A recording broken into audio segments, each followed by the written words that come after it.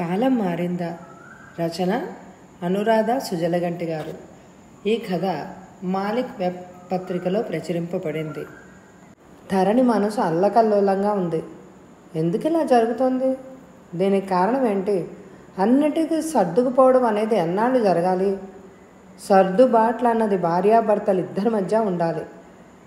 కాడికి కట్టిన ఎద్దులాగా జీవిత భారాన్ని ఇద్దరూ సమానంగా మోయాలి. ఒక ఎద్దు అలసినప్పుడు ఇంకో ఎద్దు మిగిలిన భారాన్ని కూడా మోయాలి. ఇది ఇద్దరికీ వర్తించిన అవసరమైనప్పుడు అదనపు భారాన్ని ఎప్పుడు ఆడదే మోస్తుంది. తప్పించుకుందుకు సాకులకు ఆమెకు అవకాశం దొరకదు. అమ్మగా ఆమె అలా చెయ్యలేదు కూడా. అమ్మా అన్నం పెట్టవా? అన్న మాటతో ఆలోచన లాపి పక్కన నుంచున్న కొడుకు వైపు చూసింది. బయటకు పెడతారన్న ధోరణిలో వంట చేయలేదు. ఇప్పుడు ఏదో ఒకటి చేసి వాడికి పెట్టక తప్పదు. పెద్దవాళ్ళ సమస్యలు వాళ్ళకి అర్థం కావు. తల్లి ఆలోచనలో ఉండగానే వాడి రూమ్లో ఉన్న కొత్త డ్రెస్ తెచ్చి తల్లి చేతిలో పెట్టాడు. అది చూసి వస్తున్న కన్నీళ్ళు ఆపుకుంది. ఇవాళ వద్దమ్మా అంది. ఈలోగా అందంగా తన కోసం తీసిన బట్టలు వేసుకుని వచ్చింది ఏడేళ్ళ రజని. నేను రెడీ అంటూ ఇప్పుడు పిల్లలకి ఎలా నచ్చ చెప్పాలి? ఆఖరి ప్రయత్నంగా హేమంత్ గది తలుపు తట్టింది. హేమంత్ తలుపుతి పిల్లలు నీ కోసం ఎదురు చూస్తున్నారు. బయటికి వెళ్దాం అనుకున్నాం కదా అంది. సమాధానం లేదు. అయినా పిల్లల కోసం మళ్ళీ తలుపు కొట్టింది. పొద్దున్న అనగా తలుపులు బిడాయించు కూర్చున్నాడు.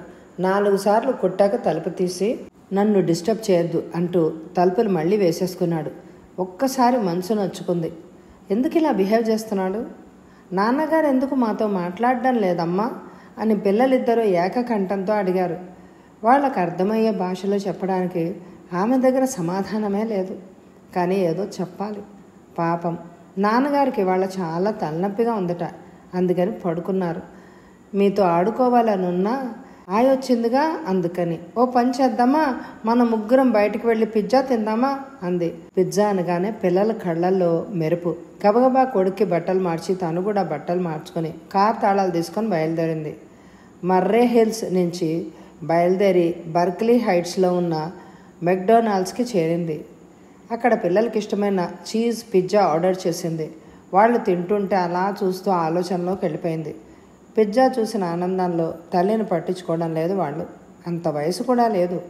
ఏదో ఓడ పొడుద్దామని ఇండియాలో ఉన్న జాబ్ వదులుకొని అమెరికా వచ్చారు.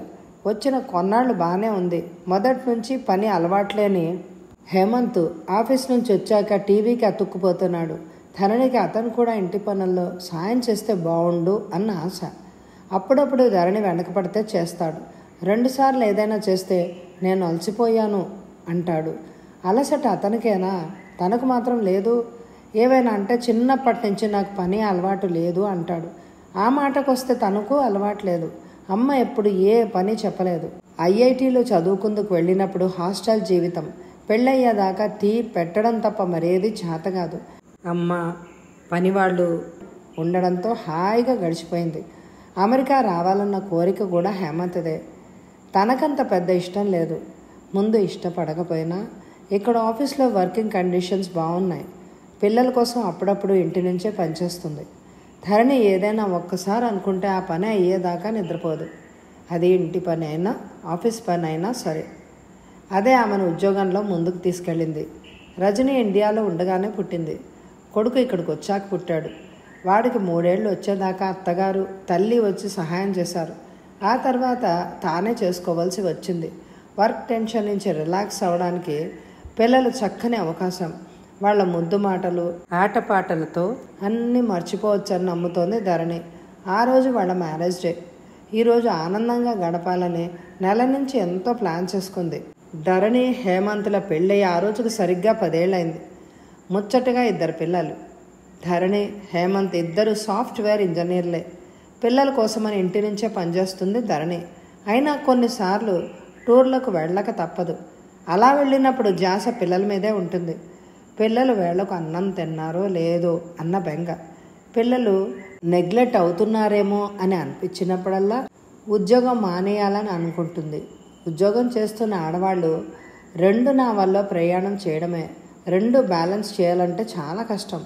అటు ఉద్యోగం ఇటు అమ్మ బాధ్యత రెండు సమంగా నిర్వర్తించాలంటే ఎంత కష్టమో.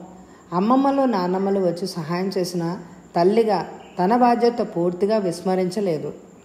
ఇవన్నీ కాక tension targets promotions late night working hours. వీటన్నింటితో ఇల్లు కూడా మేనేజ్ చేయాలంటే కత్తి మీద సాములా ఉంటుంది.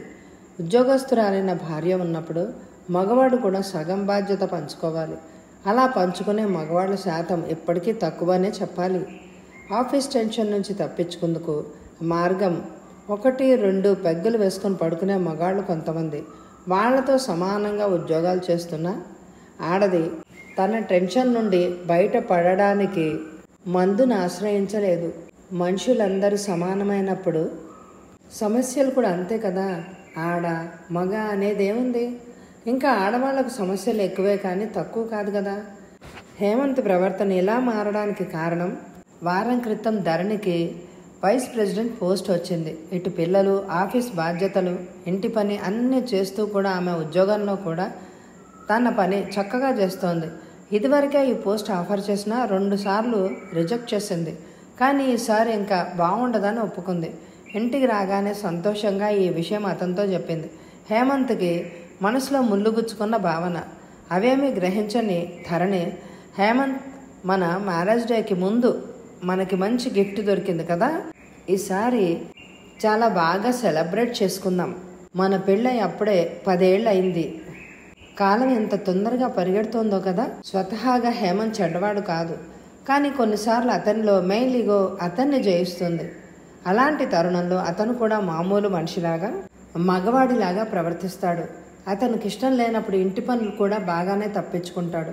ల్యాప్టాప్ ఒళ్ళో పెట్టుకుని సూడుకో ఆడుకుంటూ ధరణి ఏదైనా పని చెప్తే చూడడం లేదా నేను ఆఫీస్ పని చేసుకుంటున్నాను అంటూ తప్పించుకుంటాడు. నిజం తెలిసినా రాద్ధాంతం ఎందుకని ధరణి మాట్లాడదు. కానీ ఈ మధ్య విసుగు వస్తోంది. ఎంతసేపు తానే ఎందుకు సర్దుకుపోవాలి? సంసారం పట్ల అతనికి బాధ్యత లేదా? ఇంకా అమ్మమ్మల కాలంలో లాగా ఆడదే అన్ని పనులు చెయ్యాలి అని అనుకోవడం ఎంతవరకు సమంజసం? ఈ సాఫ్ట్వేర్ ఉద్యోగాలు డబ్బులు బాగా దొరుకుతాయని అందరూ ఇందులో దూరుతున్నారు. ఇండియాలో ఉండి అమెరికా కంపెనీకి పనిచేసిన అమెరికాలో ఉండి కస్టమర్ ఇండియన్ అయినా కాళ్ళ మానాలు వేరవడంతో వచ్చే ప్రాబ్లమ్స్ ఫేస్ చేయక తప్పదు. ప్రమోషన్ వచ్చిందని ఎంతో ఆనందంతో చెప్పింది. అయినా అతను తన ఆనందాన్ని చాలా క్యాజువల్గా కంగ్రాట్స్ అన్న ఒక్క ముక్కతో తేల్చేశాడు. ధరణి ఎంతగానో ఊహించుకొని వచ్చింది. హేమంత్ ఆనందంగా కౌగిలించుకొని చిన్న ముద్దులతో తన ఆనందాన్ని వ్యక్తపరుస్తాడని ఆశించిన ఆమెకు నిరాశ మిగిలింది. భర్త అభివృద్ధిని భార్య సంతోషంగా పంచుకున్నప్పుడు అంతే ఆనందం ఆమె అభివృద్ధి పట్ల కూడా వ్యక్తం చేస్తే బాగుంటుంది కదా అన్న ఆలోచన వచ్చిన తనకు రానిది భార్యకు రావడాన్ని అతని మెయిలిగో ఒప్పుకోవడం లేదని అర్థమైంది. మగవాడితో సమానంగా అన్ని పనులు ఆడది చేస్తున్నప్పుడు వంట పిల్లల్ని పెంచడం ఆడదే చేయాలన్న నియమం ఏమిటి? ఎక్కడో కొంతమంది మగవాళ్ళు ఉద్యోగస్తురాలైన భార్యతో సమానంగా ఇంటి పనులు బాధ్యతలు పిల్లల పెంపకం గురించి పట్టించుకుంటున్నారు. కానీ దాని శాతం తక్కువనే చెప్పాలి. ఏదైనా వస్తే మగాడు దులిపేసుకుని వెళ్ళిపోయినట్టుగా ఆడది వెళ్ళలేదు. ఈ ప్రమోషన్ ఏదో తమ పెళ్ళి రోజుకైనా వచ్చి ఉంటే బాగుండేది. కనీసం ఈరోజు ఆనందంగా గడిచేది. మమ్మీ వి ఫినిష్డ్ అన్న పిల్లల మాటలతో ఈ లోకంలోకి వచ్చింది ధరణి.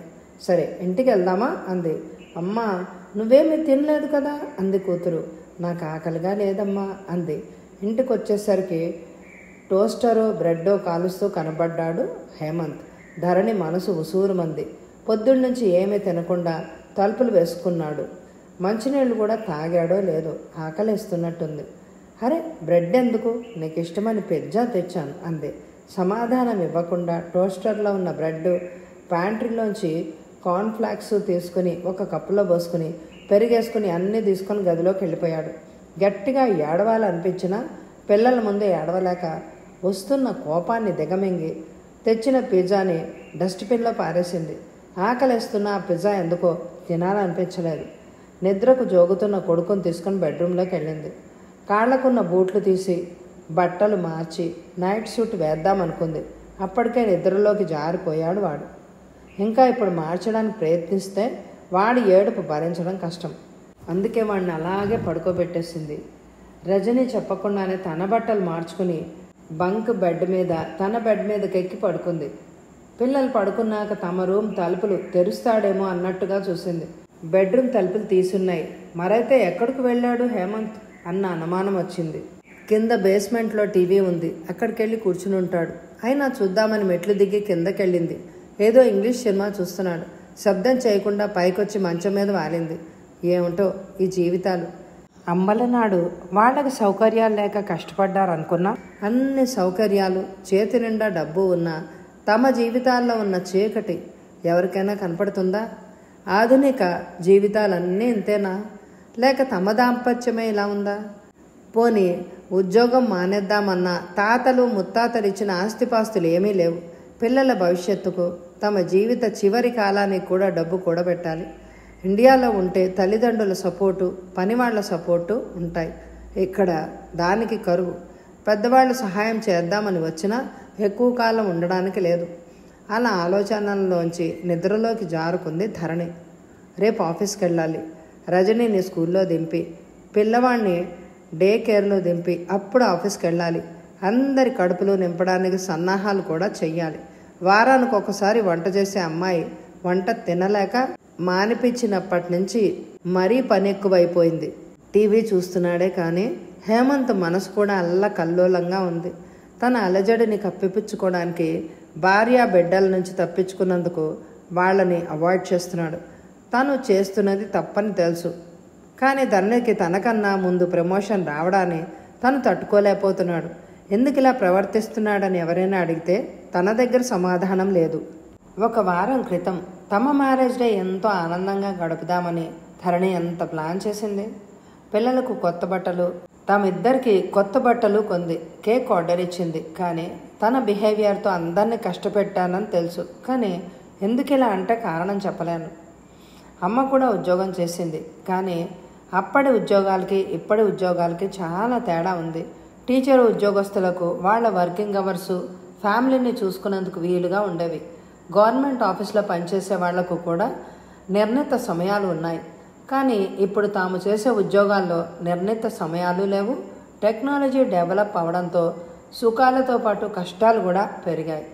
దేశ విదేశాలతో పనిచేస్తున్నప్పుడు టైం డిఫరెన్స్ని కూడా పరిగణించాలి. ఇలాంటి వాతావరణంలో పనిచేయడానికి ఎంతో ఆత్మ సంయమనం కావాలి. ప్రాజెక్ట్ వర్క్స్తో ఉద్యోగంలోని టార్గెట్స్తో బుర్ర వేడెక్కిపోతుంది. అలాంటి సమయాల్లో తానైతే ఎప్పుడో అప్పుడు ధరణి మీద పిల్లల మీద విసుక్కుంటాడు. కానీ ధరణి ఆఫీస్ పనిని కానీ దానితో వచ్చే సమస్యల్ని కానీ ఈ రోజు దాకా ఇంటి పరిసరాలకి రాకుండా చూసుకుంది. తను ధరణిలా ఎందుకు చేయలేడు? మగవాడన్న అహంకారమా? దేనిలో తాను గొప్ప? చదువు ఇద్దరు సమానంగానే చదివారు. అయినా ధరణికి ముందు ప్రమోషన్ వచ్చింది అంటే అది ఆమె ప్రతిభే కదా. తనకి ప్రమోషన్ ముందు వచ్చి ఉంటే ధరణి ఇలా ప్రవర్తించి ఉండేదా? ఎప్పటికీ కాదు. మారదు. మారదు. మగవాడి తత్వం మారదు అన్నది తను ఈరోజు నిరూపించాడు. హేమంత్ ఆలోచనలు పూర్తయ్యేసరికి డేట్ మారింది. గడిచిపోయిన కాలాన్ని వెనక్కు తీసుకురాగలడా? ధరణి కోరుకున్న కోరికను ఇప్పుడు తీర్చిన ఆమె మనసులో గుచ్చిన ముళ్ళుతో అయిన గాయానికి మందు ఉందా? ఇక మీదట ఇలా జరగకుండా ఉండడానికి ప్రయత్నించగలడా? గతజల సేతు బంధనం. కథ సమాప్తం.